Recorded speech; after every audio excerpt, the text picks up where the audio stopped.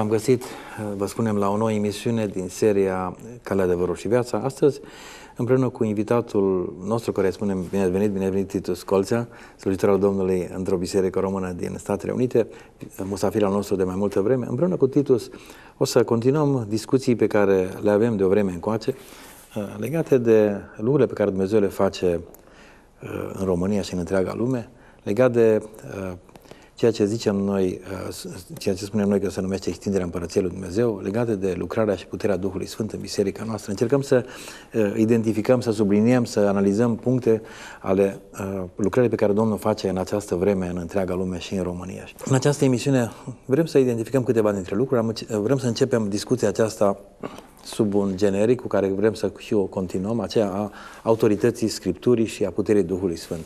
Titus, toți ne dorim ca Domnul să lucreze cu putere, toți ne dorim trezire, trezire spirituală în România, dar fără a înțelege niște lucruri de bază, fără a realiza pe anumite puncte o unitate în, în în înțelegere măcar a lucrurilor, Dumnezeu nu poate să aducă trezire. Dumnezeu nu poate aduce trezire acolo unde este dezbinare, eh, tensiune, conflict și din cauza aceasta cred că și această emisiune își propune, dincolo de nuanțări, dincolo de poate subiecte sensibile, să aducă elemente care să producă o apropiere a punctelor de vedere și a modului de lucru și de operare în trupul lui Hristos din România. Aceasta este provocarea pentru prima pentru prima intervenție. Știu eu să facem împreună o introducere la această, la această discuție sensibilă, cred eu, dar de mare importanță pentru dinamica spirituală în România în această vreme. Frate Tudor, încă o dată mă bucur din toată inima că sunt împreună cu voi și mă bucur pentru rolul pe care televiziunea Alfa și Omega l-a jucat în ultima decadă și în a informa Uh, lumea creștină și în special protestantă, evanghelică, pentecostală, carismatică despre lucrarea pe care Dumnezeu o face. Și voi ați fost un factor de,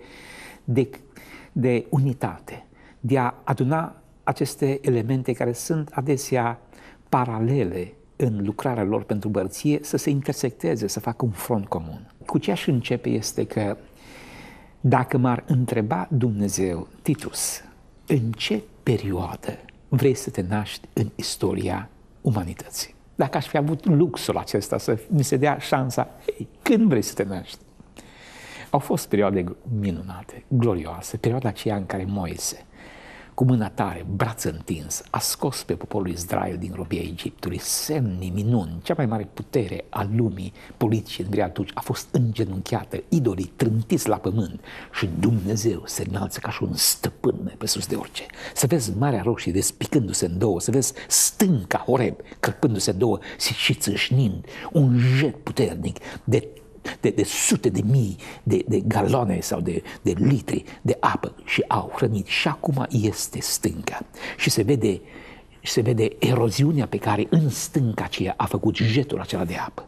Să vezi că sunt hrăniți cu pâine din cer și cu apă din stâncă. Să vezi că nu se uzează încălțămintele și hainele. Să vezi că în pustiu oamenii aceștia aveau nevoie de 20 de garnituri de tren a câte 40 de vagoane fiecare garnitură, în fiecare zi. 20 de garnituri de tren, pentru că erau în jur de 3 milioane plus animale în pustie să le de mâncare și apă. Semne și minuni. Sau pe vremea lui Ilie, pe muntele Carmen, sau pe vremea lui Iisus Hristos și apostolilor. Ce vremuri de cer! Dar față de opțiunile acelea care le-aș avea acolo înregistrate pe paginile Scripturii și apoi în istoria bisericească și istoria creștinismului a fost unul dintre pasiunile mele să citesc cum a lucrat Dumnezeu, aș alege să mă nasc acum.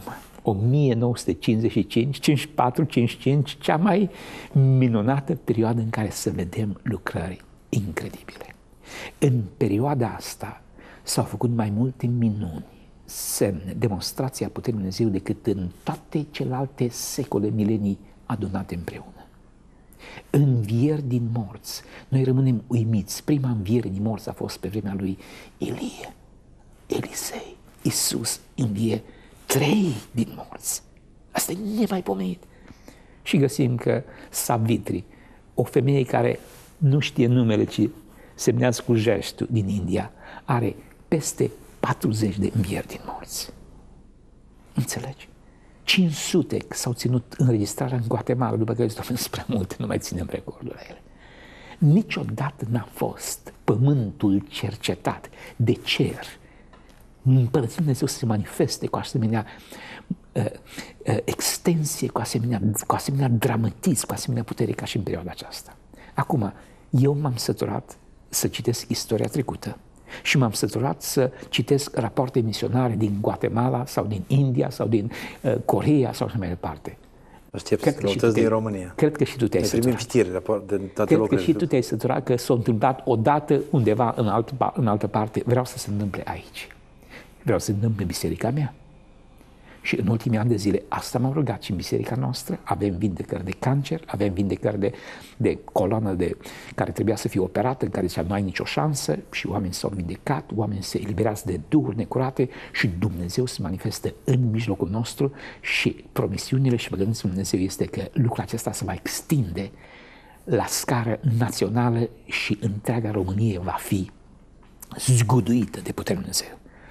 Sunt oameni care se roagă și cei care se roagă și cei care nădăjduiesc izbăvirea lui Israel sau izbăvirea României, ca așa arată Simeon și Ana și uh, Elisabeta și uh, Zaharia. Dumnezeu va ascultă rugăciunile. Și pentru cei care stau pe metreze și pentru cei care sunt mișluciori, asta este uh, asigurarea pe care vreau să dăm.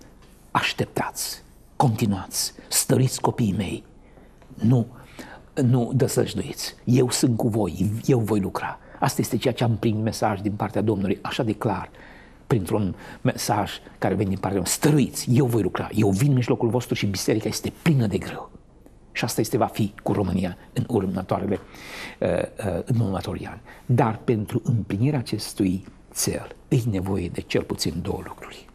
E nevoie ca cele două râuri binecuvântate de har, în care este mântuire, în care este manifestarea slavei și clării Dumnezeu, cele două râuri care sunt în prezent de apă vie din România, așa nume, penticostalii și în aceeași umbrelă carismaticii și evanghelicii, baptiștii, creștini după Evanghelie, adventiștii, oastea Domnului, să vină împreună și să unească ce au dumnezeesc fiecare, hăruit fiecare, și anume Scriptura și Duhul Sfânt, lumina Scripturii și puterea Duhului Sfânt să fuzioneze împreună. Asta este, mi se pare, secretul pentru a vedea trezirea spirituală pe care și baptiștii, și pentecostalii, și creștinii după Evanghelie și adventiștii se roagă și o așteaptă de la Domnul. Mulți așteaptă pe, pe, diverse, pe diverse dimensiuni, cum spuneai, unii poate pe dimensiunea supranaturalului, a prezenței Duhului Sfânt, a lucrurilor ăștia din comun, alții pe extinderea cunoașterii de Dumnezeu prin uh, studii biblice, prin învățături, prin întoarcerea masivă la Dumnezeu, prin pocăința multora. Deci mulți așteaptă această trezire și o intuiesc, dar o așteaptă pe, uh, au diverse unghiuri de așteptare. Uh, și este bine că abordăm această discuție într-un fel, un punct comun. Cred că nu este credincios din România care, să, indiferent în ce categorie confesională este pus, să nu aștepte ceva masiv, uriaș de la Domnul. Haideți să nuanțăm lucrurile, pentru că multă lume nu, nu știe care diferențe, ce sunt aceia evanghelici, cum? Dacă, dacă îți poți obți, a, a, a, reține întrebarea, să mi-o pui din nou, înainte de a spune următorul lucru, și anume că tu ai făcut o referință așteptările diferite pe care diferitele biserici le au de cum va arăta trezirea spirituală pe care Dumnezeu o va trimite. Și vis-a-vis de aceasta, aș vrea să spun un citat celebru care a fost dat de un om al lui Dumnezeu la începutul secolului 20 și au zis Cei care au experimentat trezirea spirituală a lui Wesley, a lui Whitfield, au stat apoi și s-au rugat, Doamne, te rog frumos, ne mai dă trezirea aceea spirituală. Au fost, au gustat-o, au trecut ani de zile după ce trezirea spirituală s-a stins, s-a uscat. Și se ruga, Doamne, dă trezire spirituală. Când a venit următoarea trezire spirituală, a venit complet diferit. Și tragedia a fost asta, că cei care erau mai mari entuziași și campioni a trezirii spirituale au devenit cei mai mari critici când Dumnezeu a început trezirea spirituală într-o formă nouă cu Finney, Charles Finney. Și la asta s-a întâmplat mereu și mereu în istoria bisericii, unde, la cel puțin 40 de ani, 50 de ani, Dumnezeu a trimis trezire spirituală în America. Treziri spirituale repetate și cei care au avut parte de o trezire încă mai erau veterani care așa așteptăm trezirea spirituală și că a venit trezirea spirituală pe care, pentru care s-a rugat Dumnezeu la prin surprindere și au devenit critici. De aceea, când e vorba de trezirea spirituală care ne așteaptă, Liviu ăla, care a fost părintele meu spiritual, cu care am trăit vremuri de cer și care am avut trezirea spirituală în Oradea, va fi surprins. Acum a trecut la Domnul, dar sunt convins că ar fi surprins când Dumnezeu lucrează într-un mod cu totul nou. Și hai să lăsăm pe Dumnezeu să fie Dumnezeu, de la capul al fine.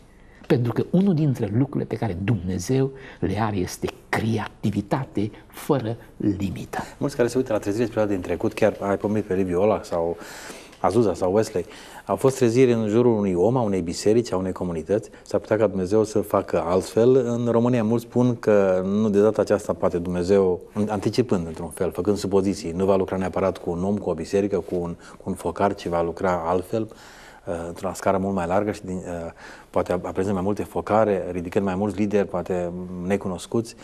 Și tocmai de aceea, dacă așa va fi să fie, tocmai de aceea e important ca întreg trupul lui Hristos să fie conștient, nu numai să așteptăm să ne uităm cu privirea să vedem trezirea va veni din Baia Mare, acolo este un nucleu, acolo sunt un grup de tineri care se roagă și postez sau în Oradea sau în Bucovina. Da, cred că tot trupul Hristos trebuie să știe, să fie pregătit, să fie fiecare uh, fiecare în zona lui agent a trezirii, măcar pe partea de așteptare și de libertate. Și în trecut, și cu atât mai mult acum, trezirile spirituale întotdeauna au depășit barierele denominaționale. Asta este frumos. Trezirile spirituale n-au respectat așteptările noastre. O, numai noi baptiști avem adevărul, de aceea Dumnezeu lucrează în mijlocul nostru. O, numai noi presbiterieni, metodiști și mai departe. Când au fost trezirile spirituale, când Wesley sau Whitfield sau Finney mergeau undeva și predica Evanghelia, toți cei care erau născuți din nou se bucurau. Și oamenii când veneau la Hristos nu mai erau acele lupte parohiale de gașcă, îs cu noi, îs cu ei. Chestiile astea dispăreau în zile spirituale. Și asta trebuie să se întâmple nu doar în zile spirituale, ci acum. Pentru că Dumnezeu la asta ne cheamă, la unitate. Când voi veți fi una, atunci lumea va cunoaște că tu m-ai trimis. Deci e un ingredient, o condiție necesară, o ideea de unitate și de depășirea barierelor confesionale în, în, în condiția, în măsura în care noi așteptăm o trezire. Și Dacă aceste, noi ne cantonăm... Și aceste pretenții care se nasc din două lucruri. Fie din ignoranță crasă, crezând că numai noi avem monopolul, fie din aroganță, o, numai noi suntem mandatari sau depozitari de Dumnezeu. Și știu că sunt orgolii puternice și într-o parte și alta, sau în toate părțile, și ăstea trebuie date la o parte. Pentru că asta este una dintre acuzațiile repetate pe care le auzim. Păi băi, de ce sunteți așa de mulți? Dacă voi nu vă puteți înțelege, Păi atunci ce biserică să aleg? Că unii zic că voi aveți adevărul, alții că noi avem adevărul. Și ceea ce pot să spun este înfrunător, că poporul Israel era un singur popor, dar erau 12 seminții, cu 12 teritorii distincte, cu 12 conduceri diferite și fiecare seminție avea particularitățile ei. Așa găsit Dumnezeu cu cale. Pentru că era ceva care nu putea Iuda să fie ca și Efraim. Așer cu Neftali, fiecare are particularități distincte pe care nu le putem avea toți împreună. Și de aceea pentru mine este când mă uit la trupul lui Hristos așa cum este și eu iubesc cu aceeași dragoste și pe frații pedicostali, pe frații carismatici, pe cei independenți, pe baptiști, pe ortodoxi, pe catolici, oriunde mi se vește ocazia, mă duc și am împărtășie. Și cei care sunt născuți din Duhul am împărtășie. Pentru că și în bisericile noastre, pe care le avem, baptiste, pedicostale, sunt mulți care sunt doar membri într-o biserică, dar nu membri în biserica lui Iisus Hristos. Dar sunt în celelalte biserici care sunt membri în biserici, dar sunt membri și în Biserica lui Hristos. Și cu cei care sunt membri în Biserica lui Hristos avem pace. Simțim. Și asta este ceea ce este important. Și, în același timp, să respectăm distințiile pe care le avem fiecare în modul cum vedem că se face biserică, în modul cum este organizarea și uh, slujirea specifică pe care o are fiecare biserică. De aceea, eu zic că este binevenită distinția, dar unitate în diversitate, nu uniformitate. Adică toți să fim la fel și asta înseamnă unitate. Unitate în diversitate. nu în uniformitate. În România și peste tot, se spune, cei din zona evanghelică, baptiști, creștini pe Evanghelie, se focalizează pe Scriptură, pentecostale, carismatici, se focalizează pe Duhul Sfânt.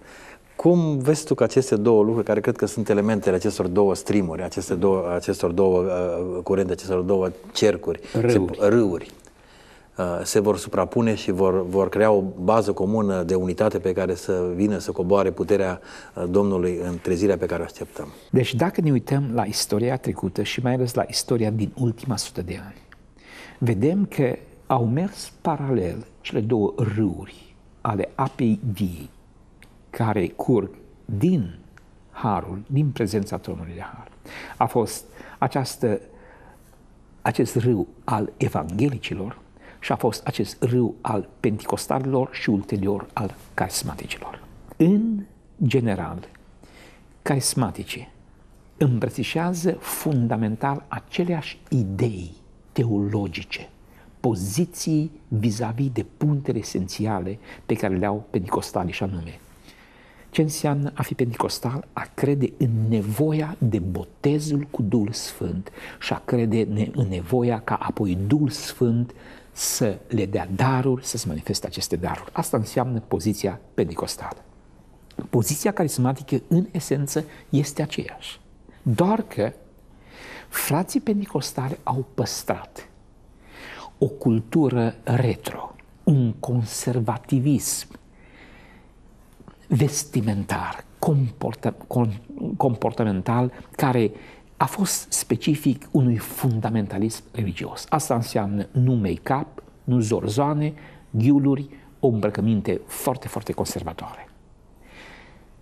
Carismaticii au trecut de partea cealaltă. Au păstrat ceea ce înseamnă învățătura teologică de bază a distinției, cel, cel face distinct pe un pentecostal de restul credincioșilor și au zis, e nevoie de botezul cu Duhul Sfânt, au experimentat botezul cu Duhul Sfânt, au experimentat darurile spirituale, dar nu au îmbrățișat conservativismul cultural, vestimental, comportamental pe care l-aveau pentecostali. Și carismaticii au apărut în cea mai, zic, liberală biserică din lumea protestantă, la episcopalieni, care după întâlniri, ei mergeau să tragă cu un pahar de vizichi, se îndulceau cu alte tării ca să aibă și bucurie, aveau tot felul de zorzoane, ăștia erau aristocrația uh, din America, erau episcopalieni. Zorzoane, make-up, viață socială de elită. Vine acolo, asta este culmea Dumnezeu, că acolo vine să aduce și de darurile lui spirituale. Începe mișcarea carismatică cu vorbire limbi și cu toate celelalte daruri. Și de acolo trece apoi la celelalte biserici, la baptiști, la prezbiterieni, la uh, metodiști, inclusiv la frații noștri catolici. Și a explodat mișcarea carismatică între frații catolici. Și noi zicem, putem avea părtășii cu frații catolici când ei fac rozaliile și din rozalii vreo 20 de rugăciuni sunt adresate Mariei și țucă crucifixul și așa mai departe. Și pentru noi așa ceva mi se pare idolatrie. Și totuși vine Duhul Sfânt și de acolo. Și găsești și aici. În România sunt. Ion uh, Chisărău, prietenul tău, părintele Chisărău și alții vorbesc în limbi și au celelalte daruri spirituale, supranaturale, dacă este acest exemplu pe care s-a întâmplat la Rusalei, s-a întâmplat la Corneliu. Eu, evreu, să-mi duc în casa unui păgân să am niște părtășie, nu un păgân oricare, ci un cotropitor, ofițer de ocupație. Să mă duc eu la el în casa împărtășie? Și are trei viziuni, aceeași viziune repetată. Apoi un înger spune ce, la viziune ce numește Dumnezeu Sfântul să numești necurat. Și apoi este un înger care spune același lucru. Și după presiuni enorme, ăsta merge și ce se întâmplă?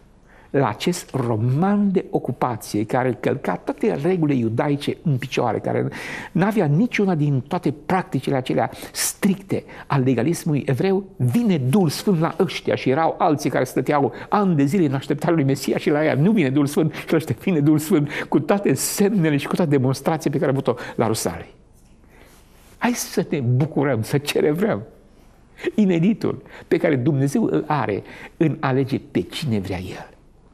Și la fel s-a întâmplat și cu, și, uh, cu mișcarea carismatică și la fel este și în prezent. Frații pentecostali îi iubesc bunica mea, din partea lui tată. A fost prima pentecostală în satul din Josan, de pe Valea Crișului, aproape de Vadul Crișului. Uh, tata, adică uh, bunicul meu din partea lui mama a fost primul baptist.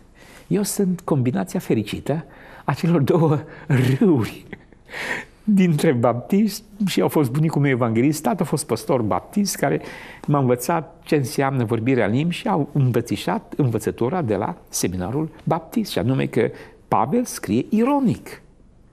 Nu este o, o uh, expunere sinceră, ci vorbește ironică. Da, vreau să vorbesc toți în limbi. Eu vorbesc mai mult, vorbește ironic, adevărat. Îmi pare rău că dacă ar trăi tata acum, probabil zice, Titus, ce înveți tu? Păi ce învăț ceea ce mama ta a îmbrățișat și avea un respect enorm pentru bunica. Deci aici e așa de important să ne legăm de lucrurile esențiale. Cum cu câteva momente ai spus așa de adecvat. În lucrurile esențiale, unitate. În lucrurile neesențiale, libertate. În toate lucrurile, caritate sau dragoste. Deasupra tuturor trebuie să fie dragoste. Și să nu ne, să nu ne judecăm. Vorbeai de elemente de vestimentație sau culturale și da. riscul a judeca sau să te considera superior. Dacă e vorba că pocăința se măsoară în vestimentație, musulmanii, musulmancele ne dau lecții de departe. Ele nu se leagă cu baticul în spate sau cu baticul legat aici. Ele își pun văl pe, pe față, inclusiv pe ochi.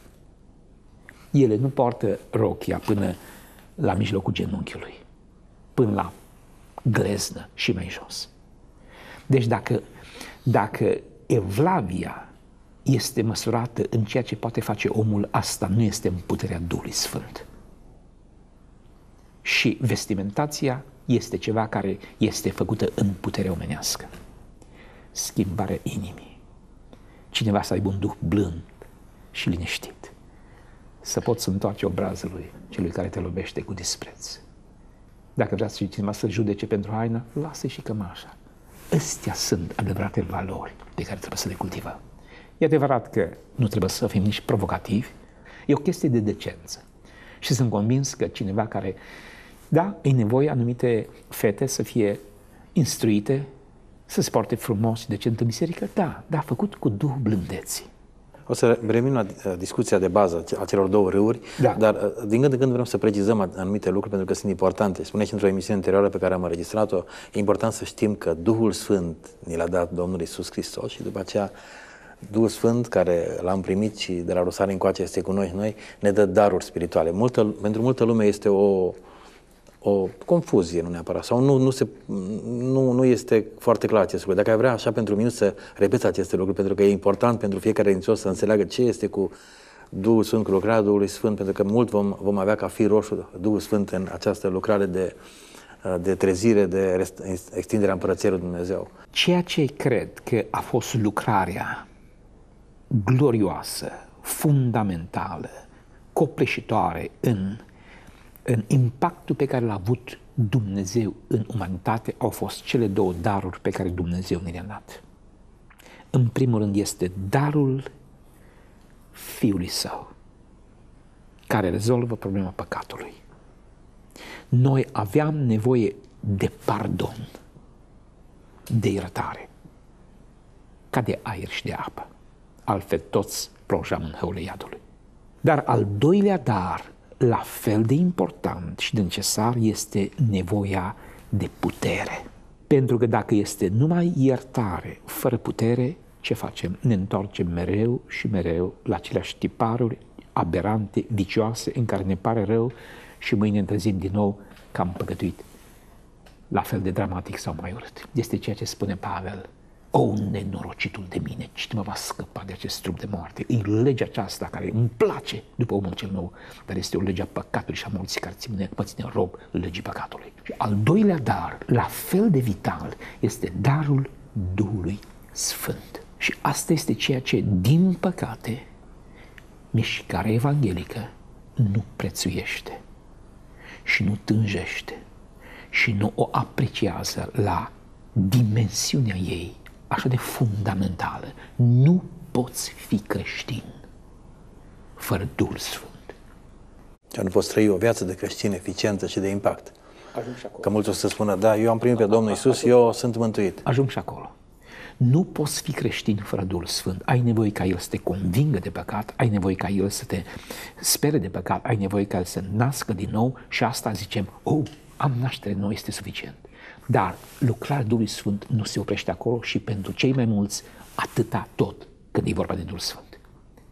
Lucrarea Duhului Sfânt este vitală și mai departe și este crucială și mai departe.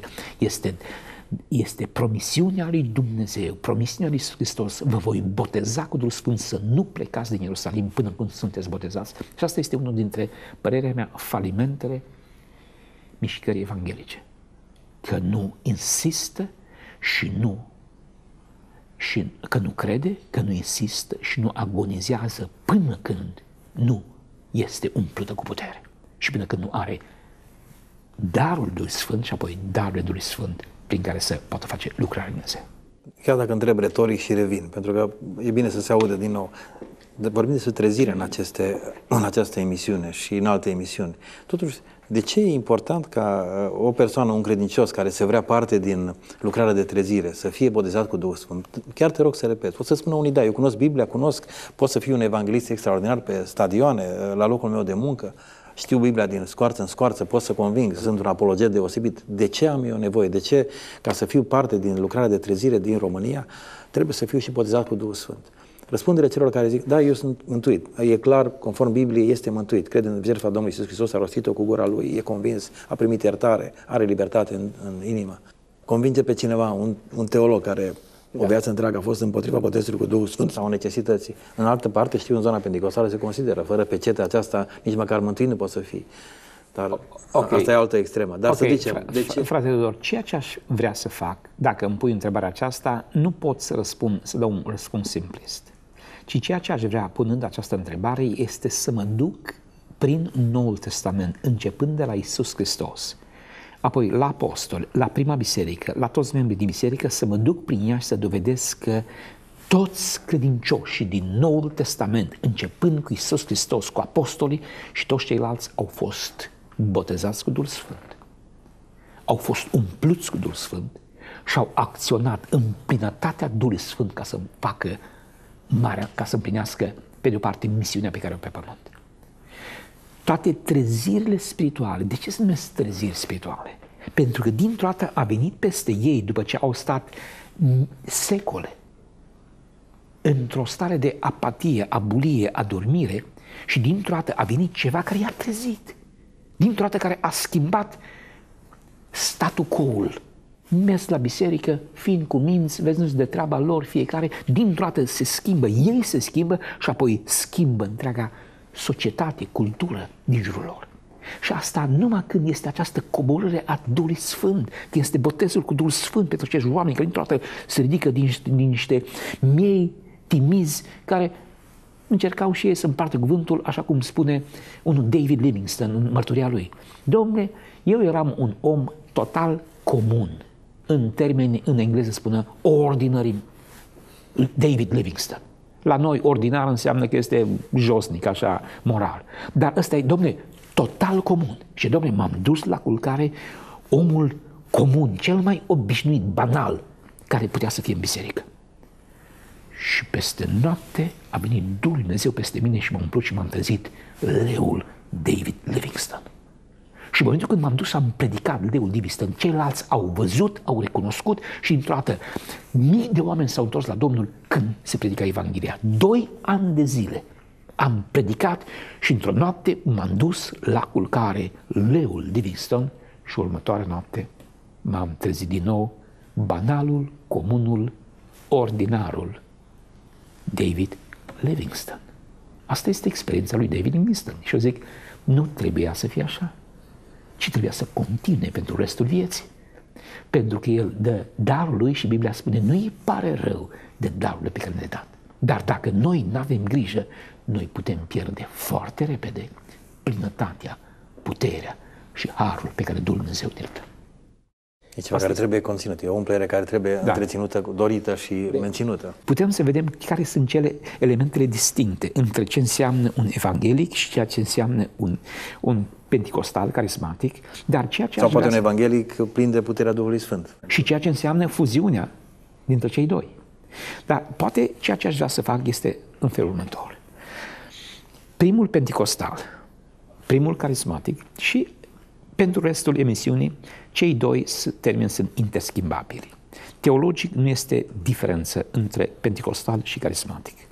Cam asta este premiza pe Pe care... aminte în urmă cu ceva ne-am luat un interviu, pe atunci era președintele cultului pentecostal, fratele Liviu Stipei și tot timpul el spunea pentecostalul harismatici. Îi punea uh, și teologii cu liniuță între ei în aceeași categorie. Dar Corect. uh, Din cei punct care, de vedere teologic, teologic este corect. care sp- spune că sunt, se bazează Ha- Hai să facem un următorul lucru. Îi numesc și pe carismatici pentecostali. Din cauza faptului că uh, pentecostalii cu siguranță sunt cei mai mulți în România și aș vrea ca să îi numim pe toți, nu cu termeni minorității, cu termeni majorității. Eu aș vrea să spun că Isus Hristos a fost un pentecostal. Indiferent dacă lucrul acesta îi deranjează, îi șochează, pe al de pe altă alții, confesiune. dar vreau să spun că a fost un pentecostal puțin diferit decât pentecostalii atipic. De ce? Pentru că Iisus Hristos a trăit o viață de 30, la până la 30 de ani în care a trăit obișnuit ca și orice om. La vârsta de 30 de ani s-a dus la Ioan și a fost botezat de Ioan în Iordan. Ioan a fost reticent să-l boteze, dar Iisus Hristos a zis, nu, așa trebuie să împlinim, așa că ascultă. Și el a ascultat. L-a băgat în apă. L-a băgat în apă, l-a imersat, l-a scufundat în apă și când a ieșit din apă, a venit Duhul lui Dumnezeu în chip de porumbel și s-a odihnit peste el. Pe de o parte, a fost acest semn vizibil care era nevoie pentru Ioan și pentru ceilalți.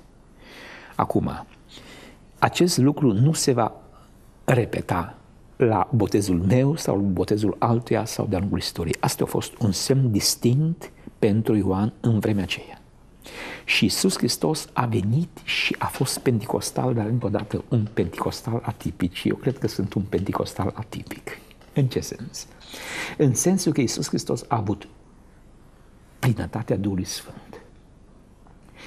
Biblia spune că Duhul nu i s-a dat cu măsură. În toată plinătatea îl avea. Și toate darurile au fost prezente acolo, cu excepția unui dar. Nu găsim nicio înregistrare că Iisus Hristos a vorbit în limbi. Sau eventual putem să cităm din 1 Corinteni 12, pentru că pentru cei mai mulți, mulți sar peste acest capitol în care este listată și vorbirea în alte limbi, în alte limbi este o comunicare tanică cu Dumnezeu. De ce n-a avut Iisus Hristos nevoie de o comunicare tanică cu Dumnezeu? Să te întrebe unii. Ai un răspuns la asta sau... Cred că motivul pentru care Isus Hristos a fost un pentecostal, dar cum am spus, atipic, este pentru că comuniunea lui cu Dumnezeu, ca și tată, nu avea nevoie de acel ajutor în plus pe care îl dă darul vorbirii limbi, în care mintea să fie pusă undeva în repaus și doar spiritul să poată comunica liber cu Dumnezeu. Pentru că asta este în principal vorbirea în limbi. Mintea este fără rod, numai Duhul se roagă. Pentru a fi, într-un fel, eliberat de gândurile, de limitările inerente unei minți care este alterată, este, într-un anumit fel, coruptă de păcatul original. Primul pentecostal în Biblie a fost Isus Hristos. Păi stai puțin că au mai venit Duhul Sfânt și peste Moise și peste cei 70 și peste Gedeon și așa mai departe. Ei nu sunt pentecostali? Nu sunt pentecostali. Ei au avut parte, de ce? De acele vizitări ale Duhului care au venit peste ei pentru a împlini anumite lucrări. Dar este o diferență între ceea ce înseamnă botezul cu Duhul Sfânt, care să rămână, decât acele vizitări împuterniciri pentru anumite lucrări, cu toată complexitatea pe care o aduce Duhul Sfânt când vine, nu doar pentru a-l împuternici pe Samson să fie cel mai mare gorilă. Și când era vorba de caracter, era un, un infect. Asta este diferența. În momentul când vine Duhul lui Dumnezeu peste, peste noi, El vine nu doar să ne dea puteri și darul nebaibămâne, El vine să ne schimbe, să ne transforme, să geamă cu suspine negrăite la Dumnezeu în a, în a realiza această metamorfoză noastră în, după chipul lui Dumnezeu. În fond, ai făcut o diferențiere între lucrarea Duhului Sfânt în Vechiul Testament, chiar punctând sumar, și o lucrare mult mai complexă și mai largă a Duhului Sfânt în Noul Testament, începând cu Domnul Isus Hristos. Primul pentecostal adevărat a fost Isus Hristos, dar în același timp eu cred că este pentecostal adevărat, chiar dacă este atipic vis-a-vis de ceea ce frații pentecostali numesc pentecostalism. Și sugestia mea ar fi să fie mai lași, mai generoși și să accepte că botezul cu Duhul Sfânt poate fi manifestat și fără vorbirea în limbi. Asta este una dintre tezele centrale ale lor. Gordon Fee, care este probabil cel mai bun teolog pentecostal, el contestă acest articol 13 din mărturisirea de credință a bisericilor Assemblies of God, contestă ca nebiblic. Și dacă cel mai bun teolog pentecostal pune sub semnul de și spune ăstea nu trebuie să fie semnul care este litmus stat sau sine qua non, fără de care nu există botezul Duhului Sfânt, trebuie să fie vorbirea în limbi, Iisus Hristos atunci se descalifică. De aceea, sugestia mea este, hai să învățăm unii de la alții. Avem fiecare dintre noi ignoranțele și limitările noastre. Eu, ca și moștenire baptistă, le-am pe ale mele și slavă Domnului că a avut milă să mă deschidă la minte și să pot să înțeleg din ce în ce mai mult întreg sfatul lui Dumnezeu. Și asta este un proces care nu se sfârșește toată viața. Și de aia, hai să fim uh, tineri la minte și să fim învățabili când e vorba de Duhul Sfânt care vrea să ne învețe mereu și mereu lucrul nostru. Multe confesiuni, văd asta circulând în ultimii ani de zile, vorbesc despre o reîntoarcere la valorile bisericii primare, la viața apostolilor. Zine puțin despre lucrarea Duhului Sfânt la apostol. Sigur că Isus Hristos este un moment special, dar El când a plecat a spus, uh, uh, a vorbit despre faptul că ne va trimite acest dar. Cum a fost apostoli? Pentru că foarte multe confesiuni își revendică uh, o rădăcină, o conexiune directă cu bisericile primare frângerea pâinii, comunie, părtășie, biserici de toate felurile și de toate culori, nu numai cele pentecostale. Cum a fost lucrarea Duhului Sfânt la apostol și de acolo încolo la ceilalți care au urmat. În Ioan, capitolul 5, cred că cu versetul 24, Iisus Hristos spune Vine ceasul și acum aș venit când cei morți vor auzi glasul Fiului Dumnezeu și cei ce vor asculta vor învia. Iisus Hristos spune clar, vine ceasul și acum aș venit când cei morți vor auzi glasul Fiului Dumnezeu și vor învia. Eu cred că apostolii, în momentul când au crezut că Isus Hristos este Fiul lui Dumnezeu. Ei au înviat. Din morți spirituali au venit la viață. Eu cred că ei au avut viața veșnică înainte de Rusalii. Pentru că Ioan spune foarte clar, a venit la ai săi. Ai săi nu l-au primit. Dar tuturor celor ce l-au primit, adică celor ce cred numele Lui, le-a dat dreptul să facă copii Dumnezeu. Născuți nu din sânge, nici din voia firilor, nici din voia vreunui om. Nu se vorbește nimic despre botezul cu Duhul Sfânt. Și oamenii au predicat Evanghelia. O Evanghelie care avea doar particularitatea aceea. Cum poți să fii scăpat de la pierzare veșnică la viață veșnică? Și era prin credința în Isus Hristos. După ce stă Iisus Hristos trei ani jumate cu ei, după care le dă putere, le dă autoritate, le dă parțial ceva din puterea și, și uh, plinătatea pe care o aveau o avea el și le parte ceva din ea, dar ei încă n-au fost botezați. De aceea le spune înainte de a pleca la cer să nu vă depărtați de Ierusalim până nu veți fi îmbrăcați cu putere și vine, stau 10 zile în stăruință. Un lucru frumos. Doamne, împlinește stăruința. Așteptăm. Și Luca spune așa de frumos, cereți și vi se va da, căutați și veți găsi, bateți și vi se va deschide. Orice cine cere capătă, cine caută găsește, celul ce bate se va deschide. Care este acel părinte dintre voi dacă îi cere fiul său o pâine, să-i dea o piatră, dacă îi cere un pește, să-i dea un șarpe sau dacă îi cere un ou, să-i dea o scorpie? Deci dacă voi care sunteți răi știți să dați daruri bune copilor voștri, cu cât mai mult Tatăl vostru care este în cerul nu va da Duhul Sfânt celor ce îl cer. Diferența între Luca și Matei este următoarea. Luca este un doctrinar de elită. Și Luca are focalizat obiectivul lui doctrinal asupra lucrării Duhului Sfânt. Și Ioan spune, adică Matei spune, va da daruri bune. Luca spune, va da Duhul Sfânt celor ce îl cer. Și asta este regula. Da, noi cităm acest verset când ne justificăm rugăciunea de la Tatăl pentru a primi anumite lucruri, anumite rezolvări la anumite probleme. Foarte puțin mergem și la ultimul verset eh, referitor la dar, darul Duhului Sfânt. Asta este observația sau înregistrarea făcută în Luca. Nu va da Duhul, eh, Duhul Sfânt celor ce îl cer, pentru că noi ne rugăm pentru darul, pentru rezolvări, dar cel mai mare dar, după darul mântuirii, este darul Duhului Sfânt. Și care este un dar distinct. Este pentru noi, pentru fiecare individual, este pentru fiecare persoană. Este, este personal. Pentru o biserică sau... Este, pers- este personal, e adevărat, este personal. Și asta este ceea ce mi se pare că lipsește sectorului evanghelic. Dar aș vrea să merg mai departe să spun că Isus Hristos a fost penticostal, un penticostal atipic. Apostolii au fost penticostali în bona fide, cu vorbire în limbi, cu tot ceea ce înseamnă echipamentul a ceea ce devenește pentecostal. Apostolii au fost minunat. După care toți creștinii din Noul Testament sunt pentecostali. Nici nu intră în discuție pentru un creștin din Noul Testament să nu fi fost botezat cu Duhul Sfânt. Voi toți ați fost botezați într-un singur Duh de un singur trup, 1 Corinteni 12 cu 13. Toți! E clar.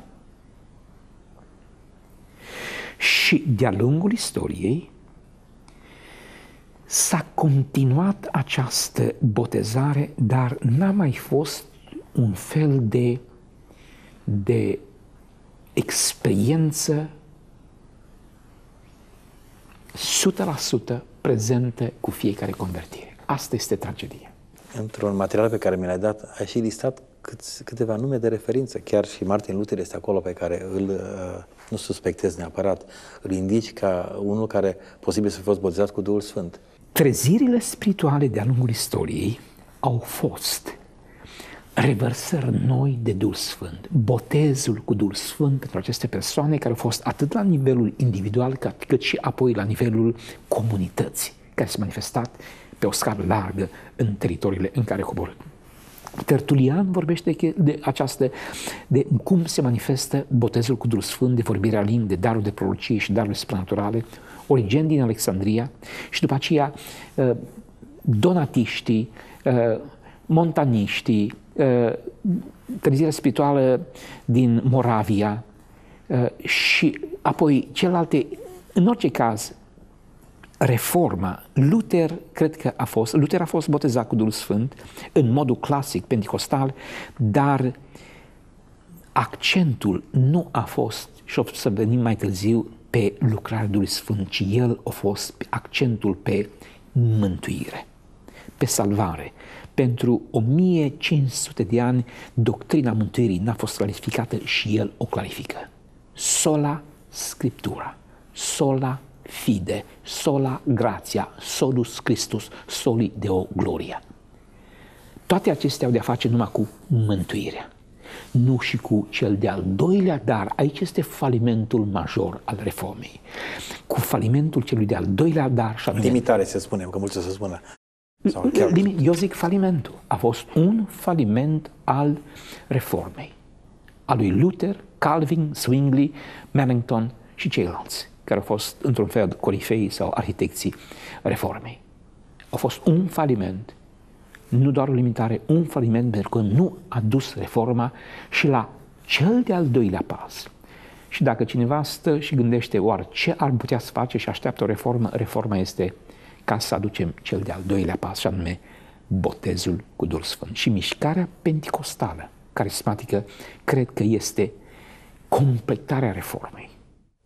Este vehiculul principal al acestei restaurări, în fond. Da. Completarea reformei în aduce și lucrarea Duhului Sfânt. Toate acestea au de-a face doar cu problema mântuirii, nu și cu, cu problema sfințirii, cu problema împuternicirii, cu problema împărățirii Dumnezeu, care se manifestă prin semne minuni puterile veacului viitor și să se întâmple ceea ce s-a întâmplat în vremea lui Hristos. Predicat Evanghelia în autoritate, putere, dus sfânt și mare îndrăsneală, în a scoate afară dracii și a vindeca orice fel de boală și neputință. Vedem aceste lucruri întâmplându-se în prezent în diferite locuri ale lumii, ne bucurăm, ne celebrăm și vrem să le vedem și în România. Să ne gândim la câteva... Uh, a început să vorbești despre o contribuție majoră pe care crezi că zona pentecostală carismatică o aduce aceste dinamici noi spirituale care se manifestă acum și care ar trebui să fie extinsă, aceea a, a, a darului Duhului Sfânt și a prezenței lui în biserică și a lucrării lui supranaturale. Asta cred că este prima, o contribuție majoră a, a lucrării carismatice la biserică. Eventual, ai mai într-un material pe care mi l-ai dat, vorbeai de niște, de niște contribuții majore pe care pentecostalo-carismatice le aduc bisericii, dacă ai vrea eventual să le, să le trecem în revistă foarte Cu foarte siguranță, cred că este așa de important ca să vedem care a fost contribuția așa de importantă pe, pe care pentecostale carismatice au dus-o în, în istoria bisericii și mai ales în înțelegerea mai complexă, mai completă a ceea ce înseamnă uh, întreaga mântuire. În primul rând, deci dacă ar fi să, să vorbesc ceva de deficiențele pe care le-a avut reforma, este că ca și o reacție față de lumea mistică, supersticioasă, tot felul de, de vindecări care se promiteau într-o parte și alta, cu obiecte, cu moște sfinte, cu ceea ce se întâmplă și asta era un fel de cultură foarte mistică, păgână, care era în Biserica Catolică, ca și o reacție vehementă față de aceste minuni care le pretineau că se întâmplă în diferitele locuri în Biserica Catolică, reformatorii zic, nu mai credem. S-au împotrivit față de orice aceste minuni și într-un fel au devenit ceea ce se numește teiști, uh, deiști. Teiștii sunt cei care cred că Dumnezeu a creat Universul și Dumnezeu în continuare este în control și El continuă să intervină în istoria Universului. Deiștii cred că Dumnezeu a creat Universul, l-a tras ca pe un ceas, îl lasă să meargă în voia Lui și El nu mai intervine. Și mulți din creștinii noștri sunt deiști în practică. Ei se roagă pentru vindecare, dar la sfârșit care este răspunsul? Facă-se voia ta. Și dacă după o rugăciune două omul nu s-a vindecat, înseamnă că a fost voia lui Dumnezeu ca omul să moară. Doamne, cum este voia ta? Și fără să aștepte ca Dumnezeu să intervină. Ca Dumnezeul lui Moise, ca Dumnezeul lui Ilie. Unde este Dumnezeul lui Ilie? Și ia mantaua și lovește apa Iordanul și într-o să despică. Vreau să văd. Doamne, dacă vrei, tu despică apa în două. Nu așa a fost atitudinea lui Elisei. Unde este Dumnezeul lui Ilie? Lovește cu mantaua și apele se opresc. Și acest teism care este în prezent, Dumnezeu nu, mai, nu numai este transcendent, Dumnezeu este iminent. Acum este cu noi și intervine și face minuni. Și asta este ceea ce au restaurat frații noștri pentecostali carismatici anume o credință în faptul că Dumnezeu nu este doar transcendent, ci iminent lucrează și face minuni și semne. Ci o credință vitală pentru modul în care noi credem că Dumnezeu va interveni direct în ceea ce zicem noi și așteptăm noi ca trezire spirituală și o revărsare a Duhului Sfânt majoră în, în, în țara noastră, în perioada următoare. Dacă nu credem asta, uh, e o limitare majoră pentru noi. Îmi pare rău să le spun, dar anumiți frați de-ai mei uh, în practică sunt deiști, chiar dacă se pretind că sunt teiști. Dar i-aș putea spune, știi ce? Ia spunem o minune în viața ta. O minune care să fie uh, indubitabilă, beyond any reasonable doubt, dincolo de orice motiv de îndoială. Spune vreo vindecare, vreo intervenție, ceva supranatural. Și din păcate nu pot să spun. Eu pot să spun sute de astfel de minuni. Numai în ultimii ani, așa de multe vindecări, minuni, intervenții supranaturale pe care le-a făcut Dumnezeu în biserica noastră sau în alte locuri unde am fost. Și pentru că cred și știu, Doamne, El intervine, El răspunde. Următorul lucru care l-a dus este că restaurează conceptul împărăției lui Dumnezeu care este crucial. Mesajul lui Hristos a fost de la început până la sfârșit, fără niciun dubiu, împărțim Dumnezeu, împărțim Dumnezeu, împărțim Dumnezeu, împărțim Dumnezeu. Noi îl predicăm așa de rar și chiar dacă îl atingem, nu știm despre ce vorbim. Mai nou, se vorbește mult despre împărăție, dar mesajul împărăție a, a fost mesajul cine, central al lui Isus. Pentru că cineva a ridicat acest concept și ca să fim și noi în vogă, dar inclusiv ce înseamnă împărțim Dumnezeu? Împărțim Dumnezeu înseamnă trei lucruri predicarea Evangheliei în putere, vindecarea bolnavilor și scoaterea afară dracilor. Cine vorbește despre împărăție și nu aduce cele trei elemente, triada sau trinitatea împărăției Dumnezeu, îmi pare rău, vorbește doar palavre. Cineva care a studiat Biblia mi-am extras, spune, se vorbește clar nașterea din nou odată, explicit în Scriptură, despre salvare, mântuire de șase ori și despre împărăție cam de 100 de ori. Așa o aproximare. Da. Și de obicei mesajul central al Domnului Isus ne pare... Mesajul central, El a venit într-adevăr să salveze. Dar noi suntem doar un segment, e doar salvarea noastră. Conceptul mare care include salvarea noastră este restaurarea împărăției lui Dumnezeu în împărăția păcatului și a morții. Și asta este un concept general, complex, total în întregime. Nu reducționist. Oh, eu nu mai vreau să fiu mântuit. Și restul ce vrei? Nu vrei să schimbi pe ceilalți? Nu vrei să mântuiești lumea? Nu vrei ca neamul să se schimbe? Dacă vrei, atunci ai nevoie de paradigma nouă a împărțirii Dumnezeu. Și frații noștri pentecostali carismatici au adus elementul acesta al împărăției, conceptul împărăției proaspăt, relevant și cu dimensiunile Noului Testament, triada împărăției. Apoi, următorul lucru pe care l-a dus Biserica Pentecostală a fost că ei restaurează slujirea întregului trup. Nu este doar unul care are toate darurile și de obicei, dacă cineva într-o biserică este un bun predicator, ăsta este un factum totum în biserică a venit la biserică, a avut o predică bună, lumea a rămas uimită, vai frate ce cuvânt, niciodată nu m-am gândit la așa ceva, ioi ce ne-ai ridicat. Și merg toți acasă încântați că au avut un predicator bun și dacă într-o biserică ai un predicator bun, biserica aceea zice, Domnule, suntem o biserică mare. Și o biserică care nu are un predicator bun este în căutare disperată. Vrem un predicator bun. Pe când biserica pentecostală și carismatică nu este centrată pe o anumită figură, ci lucrarea este pe ceea ce face tot trupul. Aici este frumusețea indescriptibilă a trupului lui Iisus Hristos. Conform tradiției, sigur că e o centrală, cum ai spus, pe lider, pe pastor sau pe preot, să zic așa, care este o figură centrală și uh, biserica este... El este un factum totum în biserică. Dar rolul oamenilor din jur este neglijat. Poți să fii cu ei, poți să fii fără ei. La mine în biserică sunt oameni cu daruri și nu doar cu daruri supranaturale, ci și cu daruri celelalte.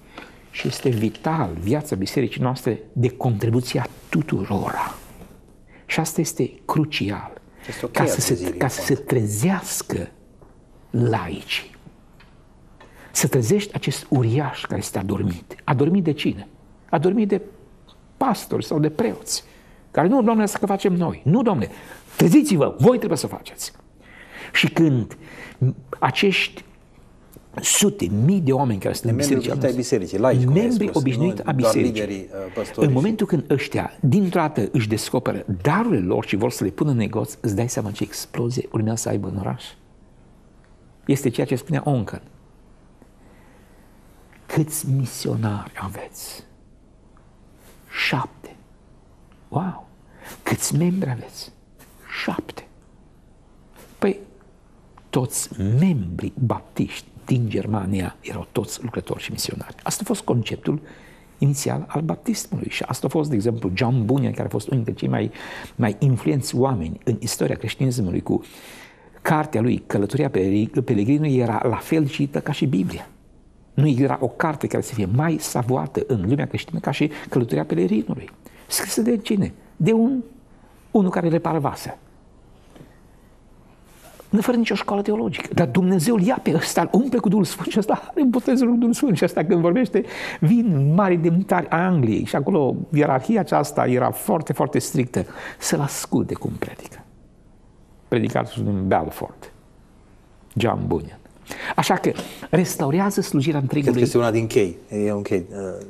E, e absolut vitală trezirea și se întâmplă, uriașului. Spun, vizitând multe alte biserici, se întâmplă deja și în alte biserici care tu le, spui, le pui în categoria evanghelicilor clasici. Încet, încet, slujirea de la nivelul liderilor începe să meargă și e un semn bun pentru România. Este. Această apropiere uh, se începe să se întâmple. Sunt semne, sunt semne a unei reforme care se întâmplă în bisericile evanghelice, în a se deschide pentru lucrarea Duhului Sfânt și în a prelua laicii rolul acela mult mai activ, agresiv, incisiv de a face și ei lucrarea datorită darului pe care Dumnezeu le-a dat și lor. Apoi, următorul lucru este restaurarea Trinității în mod practic în trăirea noastră și viața de biserică. Creștinismul este singura religie care are o trinitate, Dumnezeu în trei persoane. Dar în mod practic, în lumea protestantă era Tatăl, Fiul și Sfânta Scriptură. În lucrarea în Biserica Ortodoxă era Dumnezeu Tatăl, Fiul și Sfânta Tradiție. În Biserica Catolică era Dumnezeu Tatăl, Dumnezeu Fiul și Sfânta Marie. Au venit frații noștri pentecostali și carismatici și nu doar spun Trinitate, ci fac ca Trinitatea să fie efectiv, integrantă, trăită, reală. Duhul Sfânt îi se dă rolul de vicar al lui Dumnezeu, cel care nemijlocit din partea Tatălui și a Fiului este trimis ca să reprezinte pe Tatăl și pe Fiul și să opereze aici. Asta este minunat. Restaurarea Trinității, nu doar în teologie, ci în practică, în trăire, în misiune. Și am un gând o, ca o concluzie la cele ce ai spus până acum, pentru că sigur că în partea a doua să discutăm mai mult și despre cel de-al doilea uh, râu, uh, cel care uh, uh, este promovat de, de zona mai evanghelică, mai tradițională puțin, cel care pune mult accent pe, pe Scriptură, dar cred că toată discuția noastră și acum și cea care va urma merge sub această, sub această linie, sub acest generic, autoritatea Scripturii și puterea Duhului Sfânt în ceea ce Dumnezeu vrea să facă în uh, Este România. calea unui creștin autentic, urmaș fidel al lui Iisus Hristos. Aceasta a fost o primă emisiune dintr-o uh, mică serie a Autoritatea Scripturii și Puterea Duhului Sfânt, avându-l ca invitat pe Titus Scolța. Vă așteptăm și săptămâna viitoare la o nouă emisiune, a partea a doua a discuției sub această temă. Dumnezeu să vă binecuvânteze!